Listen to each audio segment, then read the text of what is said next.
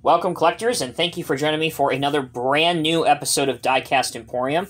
In today's video, we're going to take a look at the latest addition to the growing line of Diecast Masters Transport Series Ox Stampede dump trucks. Specifically, this is the brand new 150 scale CAT CT660 set back front axle Ox Stampede dump trucks. Now, if you're familiar with the Diecast Masters Transport Series lineup of 150 scale trucks, you will know that they have already done a International HX 620 dump truck with a Stampede dump box. They've also done a Peterbilt 567th with the aforementioned dump box, as well as a Kenworth T880 uh, with a Ox Stampede dump box. Coming very shortly, they will add a Western Star to that lineup with the Ox Stampede dump box. So, before the end of the year, hopefully, you will have a choice of five different OEMs with a licensed Ox Stampede dump truck to choose from. Back to this specific one. As you can see, it comes in a brown outer shipping box that clearly depicts what's inside. Again, the item number 85668.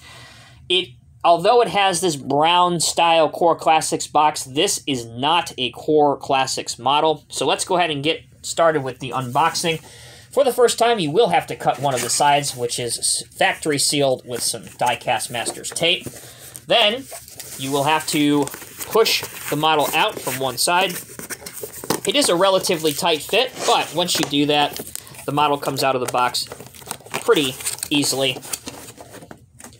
All right, here's our first look at the model. As you can see, it's in a yellow cat-style box with a clear window packaging, so you can clearly see what's inside. Once again, Cat CT660 set back front axle ox body stampede dump truck collectible die-cast scale model replica 150 scale recommended of course for collectors over the age of 14 item number 85668 cat up on top as well as the item number.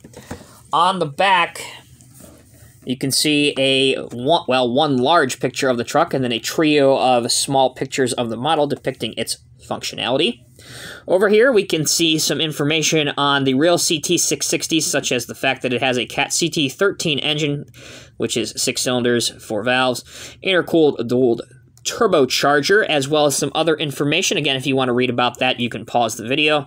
Let's continue on with the unboxing process. Cool thing about this style of packaging is, say it with me, there are zero twist ties, so nothing that you have to get frustrated or worried about there. Pull the plastic formers apart, and carefully lift the truck out. But you're not done. Once you get the truck out, Diecast Masters has included some added flexibility with these Ox Stampede dump boxes, which I personally think are really cool. Let's take a look at them. You have a couple different sets of mud flaps for the truck that you can put on. The first set is the Ox Stampede, and then the other set is the Cat Mud Flaps. The only other thing in the packaging is the Diecast Masters Cat catalog, which has their entire range of Cat products. All right, with the truck out of the box, let's continue on with the only assembly process. And of course, this is completely optional. You can choose to leave the mud flaps off if that's what you'd like to do.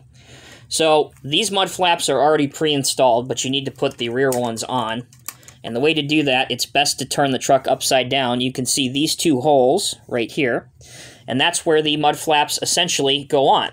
And you put them into the holes on the back. So let me go ahead and do that real quick. Got to bring the model closer to me in order to effectively do that.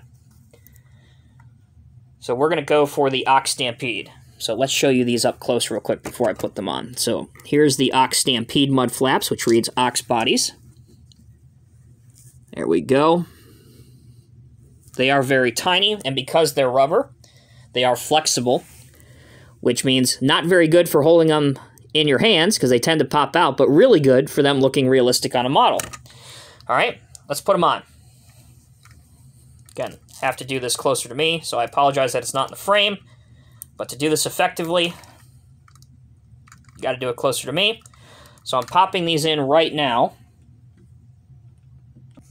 All right, there's one, and there's two. Okay, so there you go.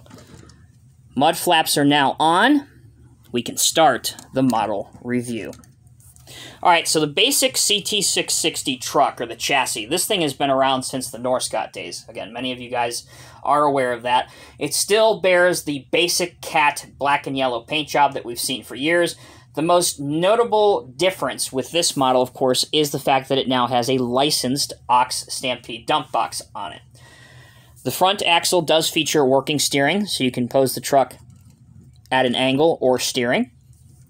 You can also open the hood, which reveals a motor inside with some individually detailed components. So good functionality there. Turning the truck to the front, you can see the cat logo and lots of chrome. There's also reflectors on the mirror, reflectors on the banner, and up here you have the Ox Bodies logo right here on the spill guard up on top. Turning the truck around, the dump box itself is a heavy die-cast metal component. And it is not plastic. You have a functioning drop or lift axle right here underneath the truck. And in order to do that, simply pull down on it. And now you can see that it is grounded and rolling with the rest of the axles. If you want it up out of service, push up. And now it is not moving with the other ones. So that functionality works great. Moving the truck to the rear, here we can see the installed mud flaps. As I said, you were also given a standard factory installed tow hitch here at the back. So if you want to tow some trailers around, you can do that. Once again, here's your lights in detail, the Ox Body logo right here on the swing open of the tailgate, and some lights here. Now you may think they missed one light on this side. That's actually how it's supposed to look. So you're only supposed to have three lights on the back of the truck. If we look inside the dump box itself, that's what it looks like. The chassis component of the truck has the item number underneath at the top front and different tire tread patterns on some of the different wheels, with the front tires, at least to my eye, being slightly more larger or fat than the tandems at the rear. All right, let's finish up our functionality with showing how the dump box works and how the extent of the dump height is. So there you go, helped along by a one, two, three stage cylinder. And our tailgate swings out to an exceptional angle as well, so you should have zero issue getting any material, especially loose material, out of this dump box with no problem. The last simulated posing opportunity for modeling I will show you is how it looks being loaded by a cat wheel loader of appropriate size for a dump truck such as this.